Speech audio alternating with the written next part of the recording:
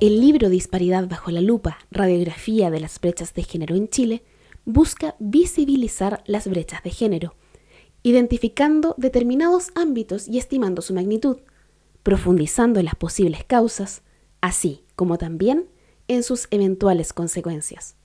Además, propone un conjunto de políticas públicas que permita reducir las discriminaciones arbitrarias y así avanzar hacia una sociedad más equitativa. Aquí, un pequeño resumen de lo que puedes encontrar en él. Capítulo 11.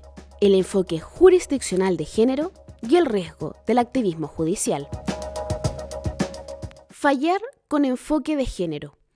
Ese era el mandato que entregaba el fallido proyecto de la Convención Constitucional a los tribunales de justicia. A raíz de esta idea, los autores de este capítulo quisieron revisar los efectos que podría haber tenido esta orden de haber terminado en el texto constitucional. En el capítulo, los encargados de la investigación apuntan a que el enfoque de género no es algo novedoso en la jurisprudencia chilena. Sin embargo, el hecho de consagrarlo a nivel constitucional envolvía, en su opinión, un riesgo innecesario de activismo judicial. Como explica la investigación, el principio democrático sugiere que es mejor tener jueces formalistas antes que escépticos frente a las leyes. Ello porque un juez activista es un juez que mira las leyes con escepticismo, y mientras menos precisas sean las leyes, más fácil será mirarlas así.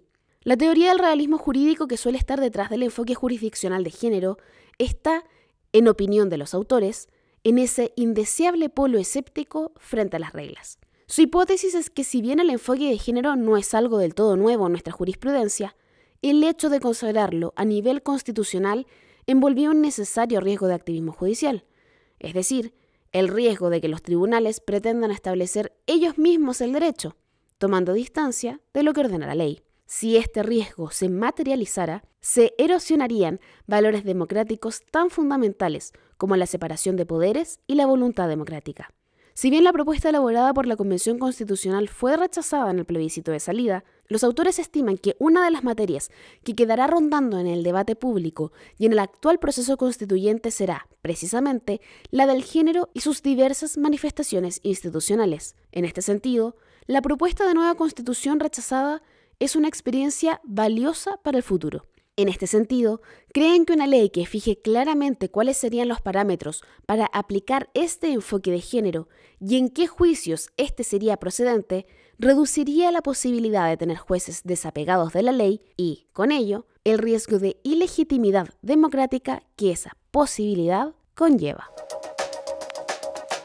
Puedes conocer más sobre este y otros capítulos respecto de las brechas de género en Chile en el libro Disparidad bajo la lupa, una radiografía de las brechas de género en Chile.